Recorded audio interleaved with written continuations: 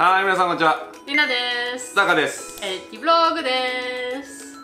今日は日本から離れられない理由について話したいと思います。日本の虜になってしまいました。はい。もう帰れないドイツに。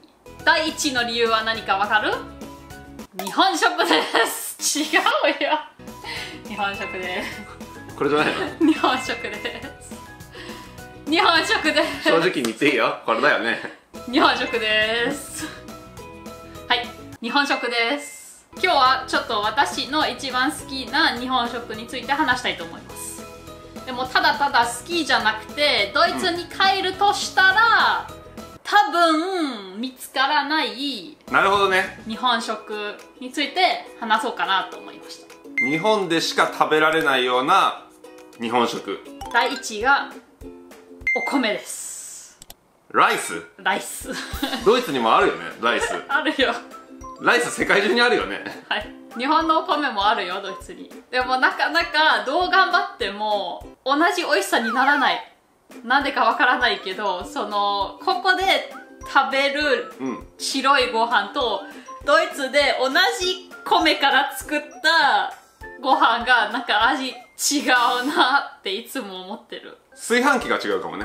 いや炊飯器が違うかお水が違うかドイツで作ったご飯は日本の作ったご飯と同じように美味しくならない。もう一つはうん。私の世界で一番美味しい食べ物は？うなぎ。そうひつまぶしだよ。ひつまぶしは特に名古屋でしか食べれないでしょ？名物だからね。ね。名古屋の。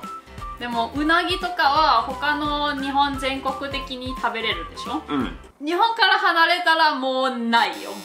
あドイツとかでうなぎ食べないんだっけ？日本だけなんだっけ？うなぎ食べてる文化って。だからうなぎに似たものはドイツにあんの？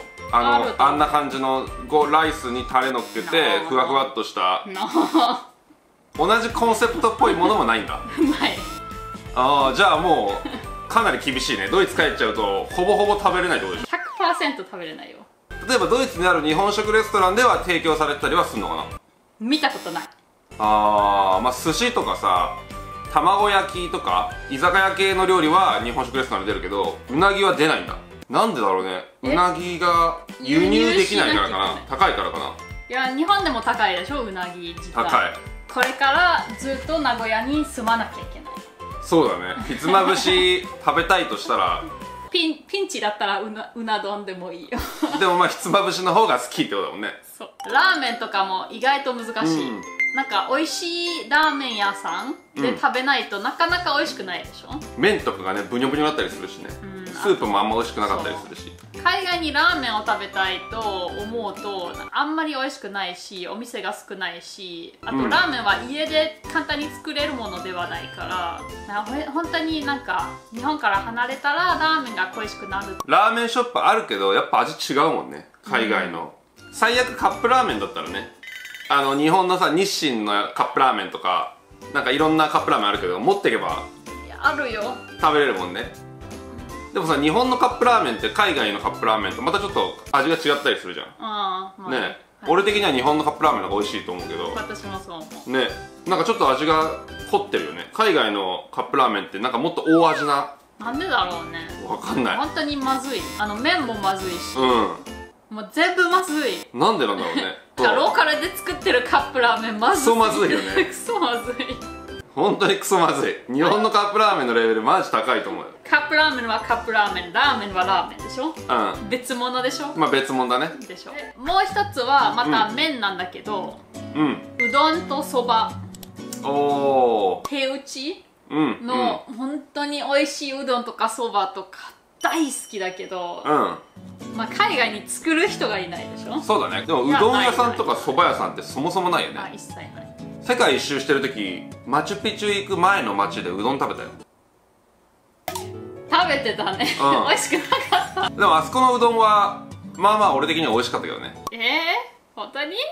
久しぶりの日本食だったから。あ肉そ肉うどん食べたけど。あうんでも比べたらもうなんかここ日本でそのそのうどんが出たらあまあそれは美味しくないって思うかもしれないけど。でもやっぱそうだね。そもそもうどん屋さんも少ないし蕎麦屋さんなんてもうめったにないよね。でもさそばとかさうどんまあ近いけどイボの糸とかあるじゃん日本の。うん。あれはさ持っていけばさ自分で最悪茹でてさ食べれるからね、もう日本は感じられるよじゃあそうしましょう。問題なく。じゃあドイツに行けるってこと。問題なくドイツに行けるという結論だね。無理。俺はもっと食べたいものがあるから。今その結論出たよ。だイボの糸めんつゆセットは最悪持っていけば日本を感じられる。逆にさお店でイボの糸とめんつゆでさそのセットでさメニュー出したらそれでうまいからさ。うまいね。海外のお店成功するかもしれないね。何の工夫もせずにイボの糸茹でてイボの糸とめんつゆに入れてネギのトッピングとか生姜のトッピング。そう。で10ユーロとかで出して。これがオーセンティックジャパニーズレストランです。で俺がオーナーやっとけばさあ日本人がオーナーやってるし本当の味なんだなって思うじゃん海外の。でタカの唯一料理できるものだし。そうそうそう 茹でるってことは俺できるから。でつゆも作んなくてもめんつゆで出せばいいじゃん。であれめちゃくちゃ美味しいじゃん。俺夏とか毎日あれ食べてるけどお昼。最後に私は日本から離れたら困る食べ物じゃなくて飲み物です。ビール？ああ梅酒か。梅酒です。梅酒？当たった？梅酒。あ梅酒なの？なんかなかなかないよ海外。売ってない。見たことない。いつも恋しくなるよ。私そんなに好きなお酒の種類がないからうん。特になんかドイツで好きなお酒がなくてたまに飲みたい時には梅酒は飲みたい。甘いからね。甘い。まあ、梅酒みたいなものはあるんじゃない？海外のなんかリキュールで甘いプラムリキュールでソーダ入れてうん。梅酒サワーみたいにするやこれが私の5個でしたけど他にもいろんな料理があるでしょ？日本食。ついやめちゃくちゃあるよ。いやでもドイツで食べれる日本食もたくさんあるああ寿司とかね。そうお寿司はもちろんどこにの国でも売ってる。うん。でそのついでに刺身とかもあったり枝豆とかも簡単に食べれるし味噌汁とかもあるしあと自分で作ろうと思えば簡単に作れるのが丼系のもの親子丼とかは作れる。ああそっか。鶏肉と卵買ってきてうん。醤油味付けで。うん。でとんかつとかも自分で簡単に作れるし。とんかつだったらシュニッツェルがとんかつみたいな感じじゃん。うん。で日本のパン粉も海外に売ってるよだからそういうものは自分でつ頑張れば作れる。他には天ぷらとか？あんま美味しいイメージないけどね。サクサクしてるイメージあんまない。なんかベタベタしてるイメージがある。かもしれない。あんま美味しいイメージはない。天ぷら海外の天ぷら。日本にないけどドイツにあるお寿司の種類が一つあるんだけど。ビール寿司とか？何？なんかビールで煮込んだマグロをなんか漬け丼とかあるじゃん日本の。ま醤油で漬けた漬け。いいかもしれじゃなないくてビール漬けマグロの丼のののアボカドアボカドのお寿司があるよ。だからカッパ巻きと同じようにアボカドが入ってる。ああアボカドにマヨネーズでくるくるっと巻いて食べるってこと？なんでマヨネーズ？アボカドとマヨネーズって抜群に合うじゃんアボカドだけ。アボカド寿司。アボカド寿司。皆さん試した方がいいですよいや本当に日本から離れたら日本食が一番恋しくなると思う。まあ多分そこだろうね。食って大事だからね。うんうん世界一周した時思ったけど。うんね。激痩せしていくしね。食が合わないと体に。いやそれはタカだけだよ。そ世界一周してる間にもなんかあの日本のレストランいくつか見つけてたでしょ。うん。うで何個か入ったしね。アフリカのザンジバーっていう島でも日本食レストラン入ってまあそこ美味しかったし美味しかったしっていうか、まあ、世界一周してる間だったから たまに食べる日本食が抜群に美味しく感じるっていう。まああのクオリティを日本で出されたら美味しいと思うかどうかはちょっと分かんないけど。それが私の一番好きな日本食でした。結局5つあったけど何でした？ライス？ひつまぶしラーメン？うどんそば日本酒じゃなくて。梅酒。